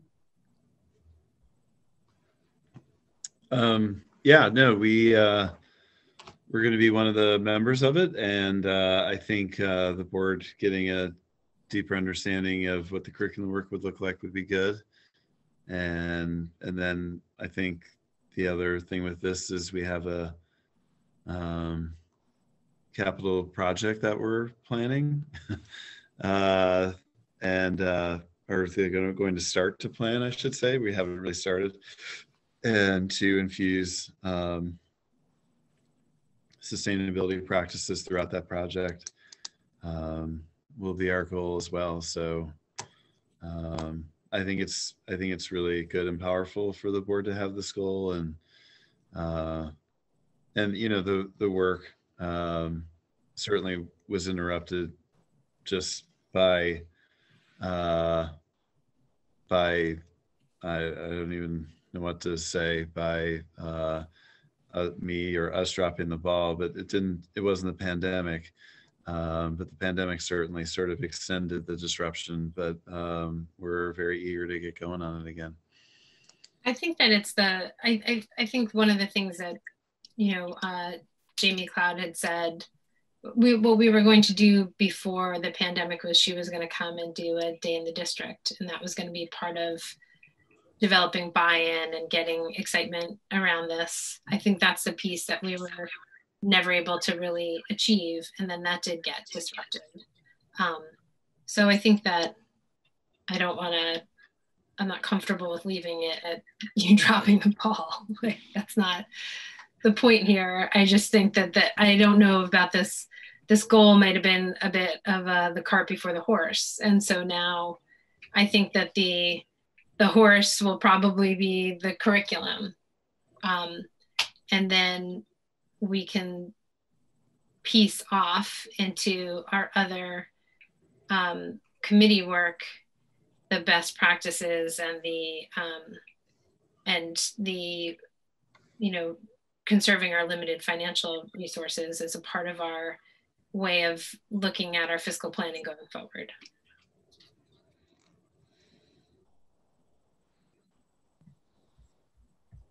So obviously workshop coming there. But in general, is everyone okay with the wording? I also agree with the approach. Okay, so the only um, change in the goals that I have down is the adding responsive to the communication goal. Is there anything I missed there? Um, so I'll have these prepped for us to approve at the next regular board meeting. It doesn't, I don't think we, we're scheduled to have a regular board meeting again on Monday, but um, as of now, we don't need to because we have a small consent agenda here. So that may not happen. So it may not be till the December meeting.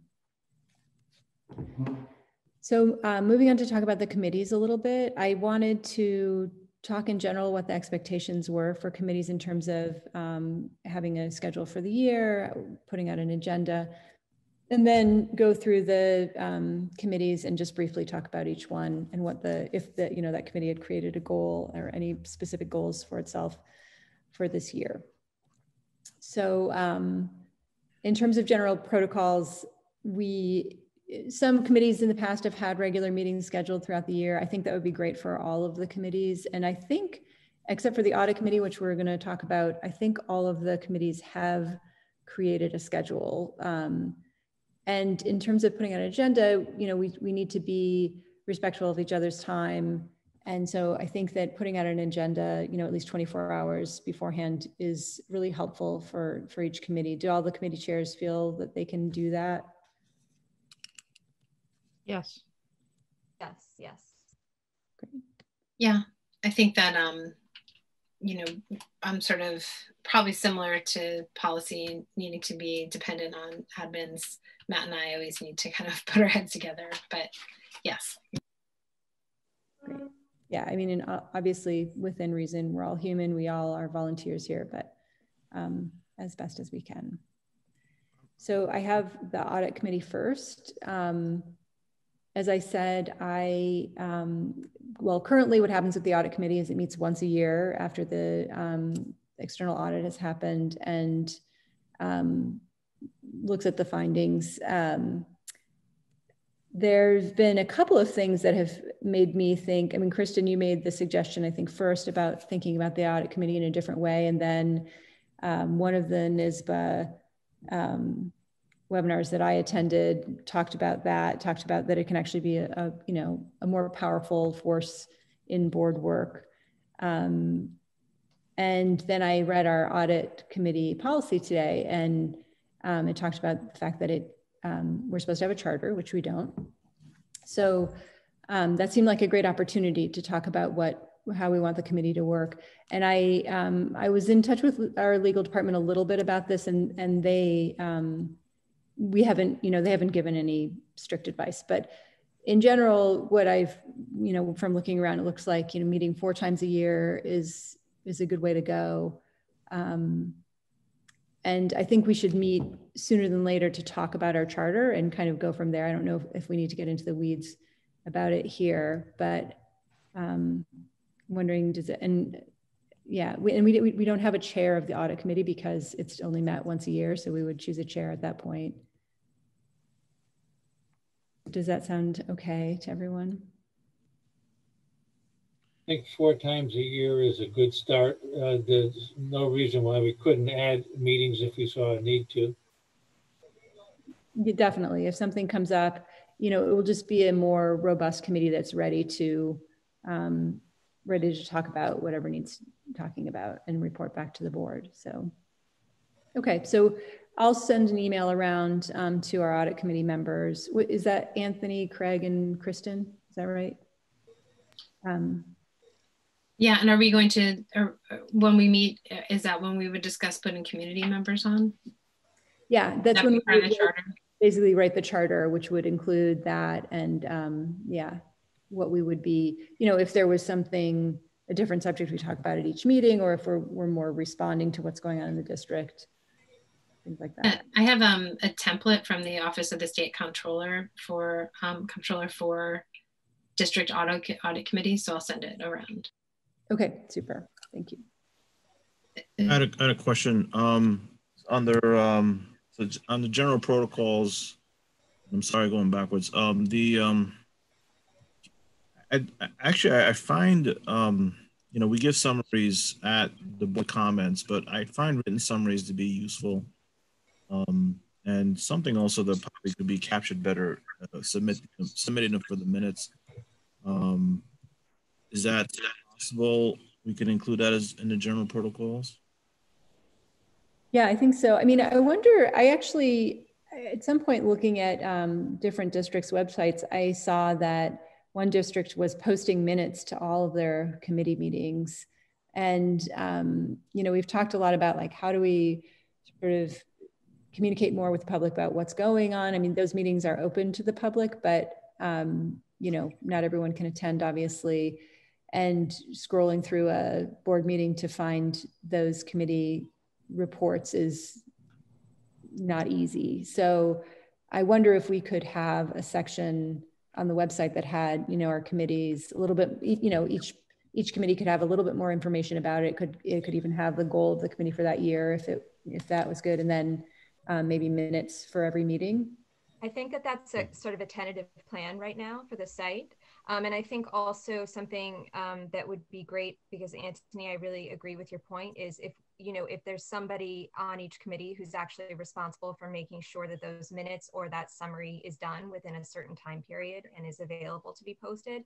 And um, the, the uh, thought that I'd had was that it gets integrated into the news feed that's on the homepage of the new website. So if there was a meeting, a committee meeting that happened that week, the the um, the the minutes are sort of show up in the in the current feed and then they're archived on that committee's page but they're getting circulation uh, in the in the main real estate of the website.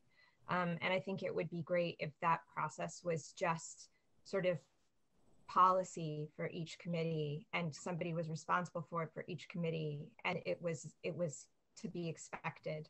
Um, and then it could be regularly you know promoted because it's it's existing there on the homepage at a point that's my, that's my thought about it. And if and you know each committee can decide i mean um, kelly does attend some of the committee meetings to take minutes but um, not all of them. And i think the committees can decide whether or not they feel that they need someone there to take minutes. I, I don't think it's necessary for every committee but it's obviously an option. Yeah like for um for you know wellness we don't do minutes per se but we have we have a summary. And I, I i'm i'm comfortable like being responsible for the summary and, and posting it within a certain time period. And i i do feel like that would be useful because like you said not everybody can make it to every meeting. Um, and the information that's in those in those discussions is often really important and can get missed mm-hmm. otherwise. I think even from yeah, I agree, and I think it's so important to have those summaries just from a governance standpoint because you just forget from one meeting to the next like what are the loose threads that you wanted to follow up on and that you need to get information to move these to advance any objectives. So i i think it's an important management tool as well. I totally agree. The summaries get used to help develop the agenda for the following meeting. Yeah. Are we able to record committee meetings? Is that allowed? I think so. Yeah. You certainly can if they're on Zoom. Well, they're on Zoom. I um, I think if we go back to in-person meetings, we'll talk. We should talk about the cost of it because then we have tech people there. And um, you mean do you mean just audio record and put the sound file, or or do you mean like have a a video recording? No, I mean audio just for the purpose of you know, for the, you know, committee chair like me to be able to listen back afterwards and take really copious notes. It's hard to. As you tell people you're recording, you can. That's the legal requirement. Right. It's it's hard to record minutes accurately um, when you're also running the meeting. Mm-hmm. Well, I mean, it doesn't need to be the chair's responsibility to to take the minutes either. So um, I think that is a lot to ask actually of the chair. Mm-hmm. So maybe it's not the chair that does that. I mean, if you, you know, if you're comfortable with doing it, that's fine, but I can see how that would be a lot. Yep. Okay. Yeah, I mean, I, I think, I think, I, I- I think that, um, a summary, um, is, the I guess is the minimum, uh, minutes. Um, be more, more work intensive, but summary would be the minimum. And maybe we can, we don't have um, a lot about the committees in our new school board member handbook, but maybe we can add this stuff to our, um, I'll, I'll do that to our handbook. So, um, great. Do you want to, should we move on to the facilities committee? What about it? Do you want to just, there's not much to say. You're working on a capital project, um, you know. That's- want me to just report? I doing want- your If there's, if there's a goal for the year, which the facilities committee goal is, is pretty self-explanatory. So, I mean, I, but I do think that there should be, let's see, I mean, the capital project for sure. Um, And you haven't even met as a committee yet. So, you know, maybe this is something that you can't talk about yet because you haven't. I don't feel like we can, yeah, we haven't really discussed what our goals are. I, I mean, I don't feel fair. I don't feel like it's fair to spring it on everybody now. I have some thoughts, but um, yeah, I think that we, our, our primary goal will be in this very challenging environment, figuring out our capital project and um, and the communication plan around that, um, how we gather input and reach out to the community um, during a pandemic, because a large portion of this development will probably be happening while um, while we're all not together still. So um, I think we just need to find a way to get gather feedback. So probably the two goals are plan, uh, uh, communication, uh, gathering input, and plan development. And we, our primary thing that's moving forward right now should be the buildings and condition survey, which will inform how much we have left over to actually do some more fun stuff with. Meredith, just for a point of order, I, I don't know if the committees all talked about their goals and so forth. So the chairs are going to be reaching out and describing something of what they feel personally, and it may not be the whole committee reflection. That is it. That's a good point, Anthony. Um, yeah, I mean, I think we did talk about it a little bit in the policy committee, didn't we? Or do you feel that that was not made clear enough? We, ta- I guess we talked about it with Bill, Alyssa. Yeah, we talked with Bill. We talked about replacing the policy manual, getting that up to date and But that was a conversation that two people of the committee had with an administrator. It was Right, no, I understand that. I was, I was thinking out loud there. I was thinking that we had had it as a committee because I've had it several times with Bill. So I apologize for that. So I mean, so it's like the committee work's not working, it's certain people of the committee are working. Right. No, you're, I, point taken. So we can't necessarily talk about it um, for all of the committees as, just as we decided with Kristen for the facilities. I mean, I think that um, Flora can talk about if there is a particular theme this year for Dutchess County School Board Association. There's not really, it can't really be discussed for each committee. So it's fine to pass. Do you want me to, did you want me to talk about that or? Um, well, Kristen, did you, were you done? Sorry, I think we interrupted. Yeah, you. no, I'm done. I mean, I don't feel like, um, well, now, now I'm scared of Anthony, but I, Be I very. don't want to overstep, but. I was just pointing out that uh, the I know, just teasing you. I'm just It- teasing you. And I, I'm. I- We I haven't know even met, facilities hasn't even met, so I don't Yeah. have, I can't, I can't speak to a goal, but it's, it's not like a secret. I think everybody does know that we have this capital project plan and we have buildings we need to fix. So that's our, those are our goals. And then I guess our, our basic goal would be to actually meet. That's where we are. Yeah. And, and when I asked for goals, I, I meant if a goal had been set. So I apologize for that. Um, so obviously policy, we have not, uh, we have not talked about the goal there. So I, I, Alyssa, did you have anything you wanted to say about the policy committee as the chair? Um, well, I, hopefully we can meet monthly, right? That's the, that's the, oh, that's always the goal. Um, and catch up on some of these policies that we need to review and get that, that policy manual replaced. But as far as goals, um, I think we'll give an update at the next regular meeting. after? Will, will we have, hopefully we'll have had a meeting before then. Yeah, um, actually, I should mention that we are the, because we may have to can't uh, move the policy and the PR committee meeting from the 7th if our retreat works out. Um, we were talking about having the PR committee meeting on the 30th. Uh, would that work for um, members of the um, policy committee? Yeah, un- unfortunately, the, the conflict I have on the seventh will be the same conflict I have on the thirtieth. Yeah. I, so, um, I have another deployment assignment coming from the twenty-third to the fourteenth. Okay. So we may have to meet without you then. It sounds like you're, you may be, Yeah. Okay.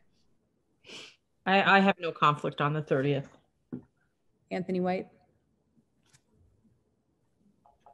The thirtieth. Yeah. I don't know what I put in my doodle poll. The, well, that would be for the policy meeting, not for the retreat.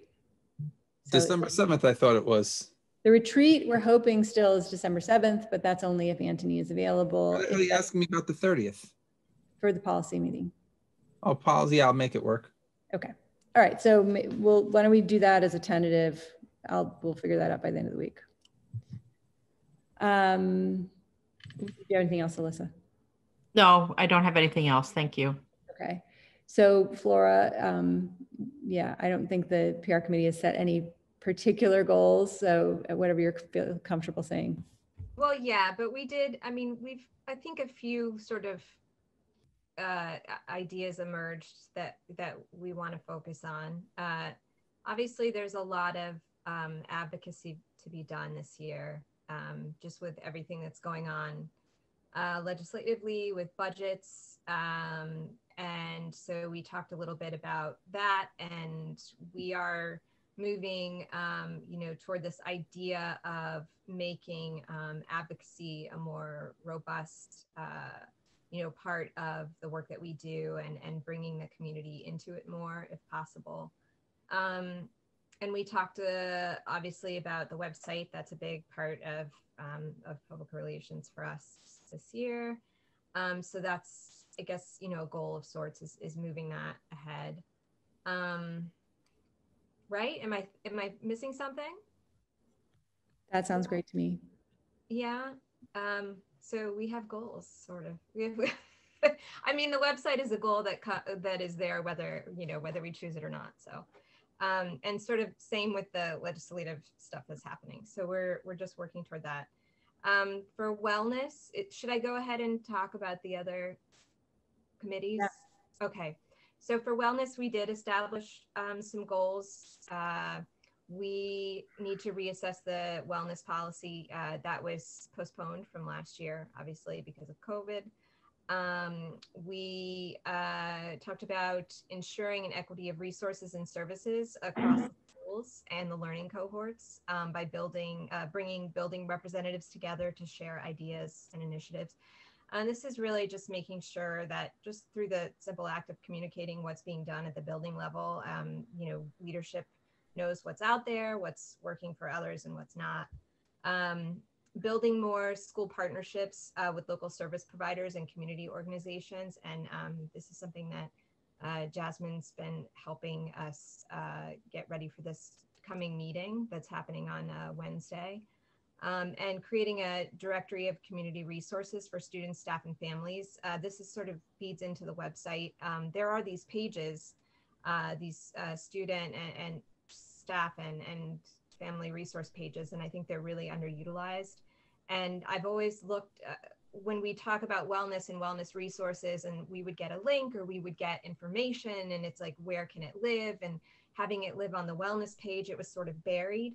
Um, but the you know the resources for staff students and families those are very like they're on the main navigation and so i think we want to really start populating that and making it a, a destination uh, for the community um, so that those are our four goals and we are doing breakout sessions on wednesday at 3.30 uh, to to sort of talk about how we can facilitate those goals this year it's a challenging year but we'll see what we can do um, and then the Dutchess County School Board Association, Uh, yeah, it's a lot of what's come up has been this year has been around the theme of COVID. So the first um, session was basically just different districts talking about how they've managed reopening during COVID.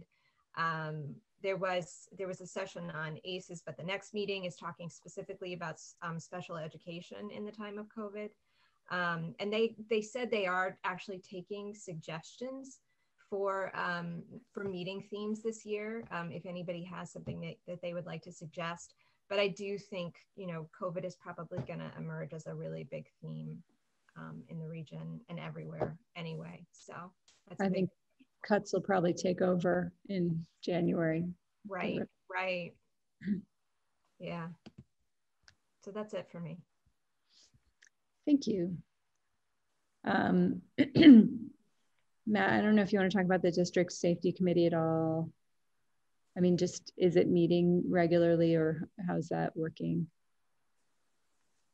Um, it, yeah, it, it meets monthly. Uh, we missed some months during the pandemic and, uh, you know, we just review uh, safety procedures and look at new mandates from the state, things like that.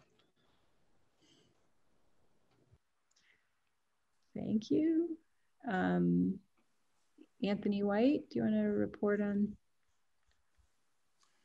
curriculum? The curriculum committee did not set forth any goals, nor did we frame any conversation about goals. However, I have reported out on the curriculum work committee during the Board of Education committee report section as to what the committee has been working on. Um, and one of the things you talked about that sounded really interesting was curriculum ma mapping. Would you feel comfortable reviewing that for a second? Um, I don't want to misspeak about how that will be happening for the district, so I will bring it up at the next committee meeting to say how it will be mapped, and so I could give a specific direction as to what the committee is thinking about the mapping. Thank you. And we talked about the diversity committee um, work kind of through the goals. I, I feel like we covered a lot there. And we will be having a presentation on that soon. Um, so is everyone okay with that moving out off of the committee? So the last thing on this, on the workshop agenda is um, just you know, wanted to allow people to spitball some ideas for um, meetings with the city of Beacon. They had reached out to us. We've sort of been talking about having regular meetings um, for a long time, and you know, everything has been pretty nutty. But I still think it would be great, especially um, with the budget crunches that we're facing. Um, and so I was, I, we still, I think, you know, we what we would do is pick a committee to um, to try to meet. Although Lee was asking for a meeting with um, just Matt and I and the city administrator, um, which will now probably be postponed because the city administrator is leaving. So, um, but we'll try to keep moving this forward. Um, in terms of subjects to talk about, topics to talk about, I had um, shared services, after school programming, and development. Um, Oh, and I, I forgot to put um, broadband access on here because that's something else we've talked about. Are there any other topics that people feel should be on, on that list?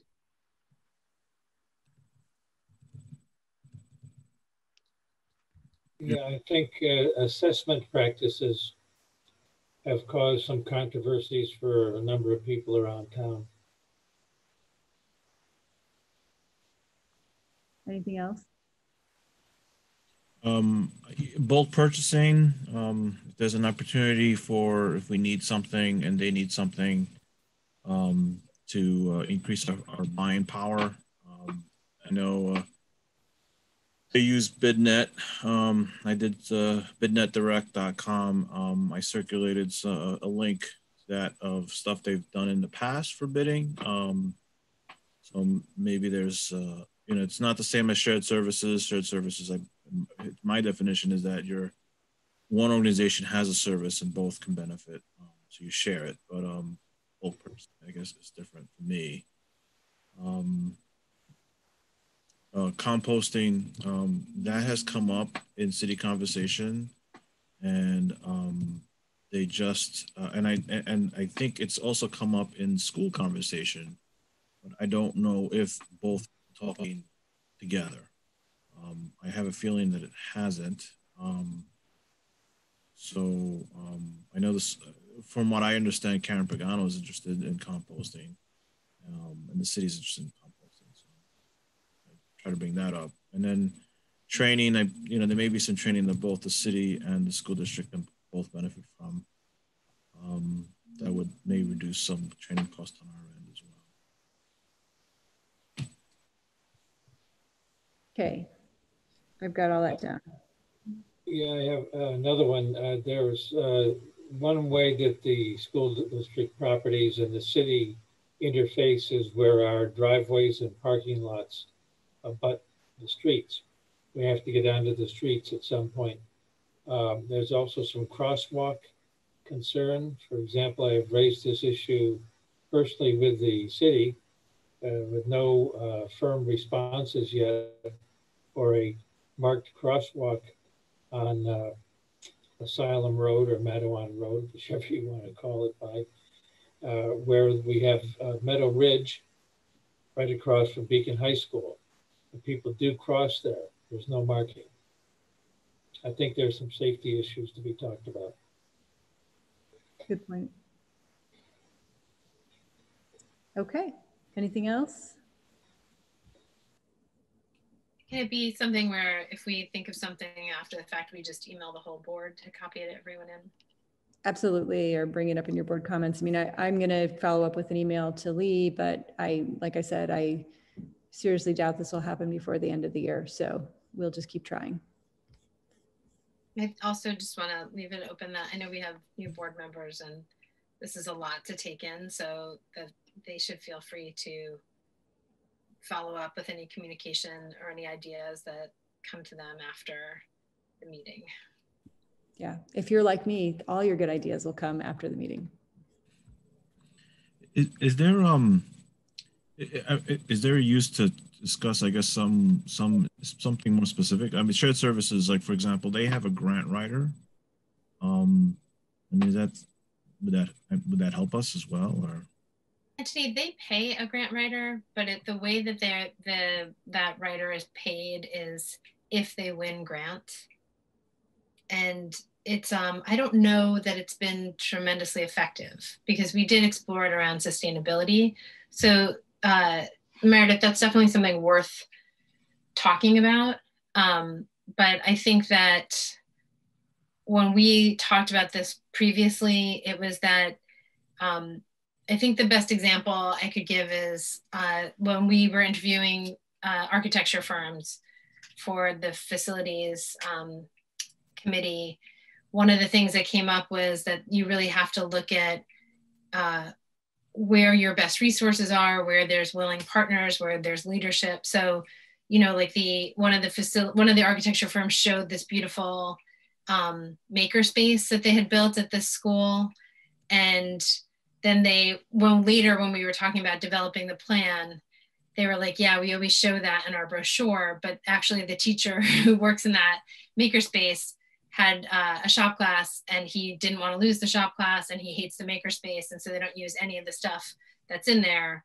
So uh, that's one of the things with um, grant writing is it, it is really weighing whether it makes sense to have somebody on staff or whether to develop kind of teams who take initiative to pursue grants around goals and staff it with people who are the most enthusiastic and know this know the um, know the district really well because they're more likely to get not only the on the front end they invest the time and the energy but on the back end have the buy-in to execute on the grant. Because um, I, I, do know that the city I, I, know jeff's brought the city several grant opportunities um, that the grant writer didn't find and that's not a knock on the grant writer. It's just that he had some awareness of some capacity that the grant writer who's not part of the community or the city didn't have Gotcha. Hmm.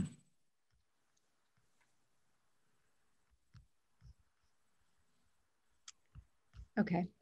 Well, I'll um, compile this list and we can keep growing it um, until we finally get face to face. Does anybody else have anything else bef- uh, before I conclude the workshop? I appreciate everyone's focus and patience. So I'm going to move on to the consent agenda.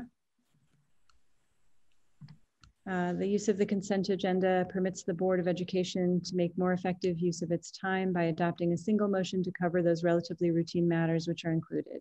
Any member of the board who wishes to discuss individually a particular piece of business on the consent agenda may so indicate, and that item will be considered and voted on separately, thus preserving the right of all board members to be heard on any issue. Are there, any- sorry? I'm sorry. I'm out of order. Go ahead. I'm sorry. Is there anything that anyone would like to pull from the consent agenda? Can I have a motion to approve items 4.01 through 4.05? So moved. Anthony? Alyssa, are there any comments or questions? Yeah, 404. I, I got my uh, phone interview today. Um, so um, it sounds very promising. I'm very optimistic. That's great. Yeah, I had mine today as well, and um, I feel really, really positive about them. I'm excited to do this. I mentioned something about a today, but I didn't send on the doodle poll, so it's next week. So if, if you schedule it, remember to hit send after you pick a time. Um, there was also mention about a Thursday uh, thing that they do, some sort of circle thing. They do two Thursdays a week. Um, they, yeah, they do. uh, It's a free circle that is um, partic- It's about racism right now. I don't know if the theme changes over time, but right now it is. There's one this coming Thursday. I don't. Do you do you have that information, or you want me to send it to you? I do. I do not. That's why I brought it up. I was kind of hoping uh, to get more information on it. I'll forward it to the whole board. Thank you. Any other comments or questions? All in favor? Aye. Aye. Opposed? Passes nine zero. Can I have a motion to adjourn? So moved. Anthony, is there a second? Second. Flora? All in favor? Aye. Opposed? Meeting adjourned at 9:09. Thanks so much. Have a good night, everyone. Good night. Good night, everybody.